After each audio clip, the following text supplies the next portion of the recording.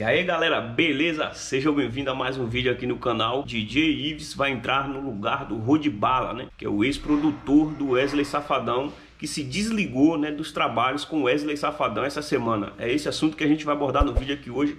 Mas antes de dar continuidade, já sabe qual é a ladainha de sempre, né? Se inscreve no canal se por um acaso você chegou nesse vídeo aqui do nada, não é inscrito no canal ainda. Ou se por um acaso vocês estão assistindo o vídeo aqui sempre e não é inscrito no canal ainda, se inscreve agora mesmo, galera. Clicando no botãozinho inscreva-se aqui abaixo, ative o sininho das notificações para todas, porque o YouTube vai sempre te lembrar quando eu postar vídeo novo. Me segue lá no Instagram também, é o primeiro link aqui abaixo na descrição. Vamos embora. Pois é isso aí, galera. O Rod Bala, que era o produtor né, do, do Wesley Safadão, produtor e sócio do Wesley Wesley Safadão, ele se desligou, né? Depois de mais de 10 anos, né? Trabalhando com Wesley Safadão, ele se desligou, né? Da parceria com Wesley Safadão. Saiu lá no Diário do Nordeste. Se liga só, vou ler a notícia aqui rapidinho para vocês.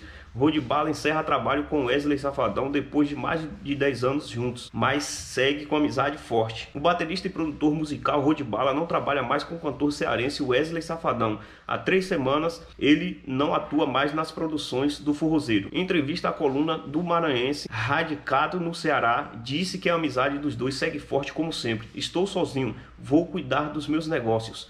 Da R10 Produções declarou Rod Bala. Além de Wesley Safadão, o produtor musical assina trabalhos com Márcia Felipe, com quem é casado. Segundo Rodbala, o que foi encerrado foram questões societárias. O que a gente desfez foi a minha participação em sociedade de contratos dos artistas dos artistas eh, Gleidson Gavião, Márcia Felipe, Camarote e Potência Music. O produtor musical conta que o fato do encerramento contratual não impede a trabalhar em singles por convite do Wesley Safadão. Quando ele precisar, estarei disponível como sempre para tudo. Rodbala, conhecido pelo apelido de R10, trabalhou em todos os projetos audiovisuais de Wesley Safadão. O mais recente foi o WS Amplificado. Atingiu o topo dos aplicativos de streams. Tá aí, galera. Essa foi a notícia que saiu lá no Diário do Nordeste, né? O pronunciamento que ele deu após a saída, o desligamento né, dos trabalhos com Wesley Safadão. E daí o que que acontece, galera?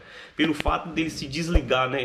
Ele veio a público é, pronunci se pronunciar, dizer que se desligou né, do, do, dos trabalhos, né, da parceria ali com Wesley Safadão, já tá rolando fortes boatos de que é, o DJ Ives vai entrar no lugar do, do Rod Bala para trabalhar, ou seja, para trabalhar com Wesley Safadão. Inclusive, já vi até um vídeo de um cabra aqui falando, mas assim, são só boatos, são só rumores, suposições da galera aí, entendeu? Não tem nada confirmado. Eu acredito, né, que não a gente não pode descartar essa possibilidade, que tenha que tem essa possibilidade sim, porque o DJ Ives está aí até então, ele não se declarou, a gente sabe que ele se desligou lá do, do chão de avião. Vocês já estão cansados de saber, já trouxe diversos vídeos aqui falando a respeito dessa situação, né, que aconteceu com com o DJ Ives, aí todo mundo ficou sabendo que assim que aconteceu lá aquele episódio com o DJ Ives, de imediato ele foi desligado, né? Desligado do, do, do chão de avião, né? Então assim, é, assim, entre aspas, ele tá sozinho, né? Ele tá sozinho, ele não tá, ele não firmou com nenhuma banda ainda. Então, porque disso que eu acredito nessa possibilidade sim dele ir trabalhar com Wesley Safadão.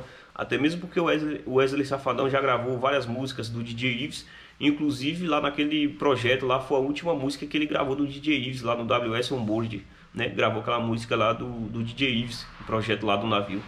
Então tá rolando esses fortes rumores aí de que o DJ Ives vai trabalhar com Wesley Safadão, entrando no lugar do Rod Bala. O que, que vocês acham aí? Será que tem essa possibilidade do DJ Ives ir trabalhar com Wesley Safadão? Deixa a tua opinião aqui embaixo, comenta bastante que eu vou estar interagindo nos comentários aí com vocês. E é isso aí, até a próxima novidade, é nóis. Esse cara é dominado, mas não quer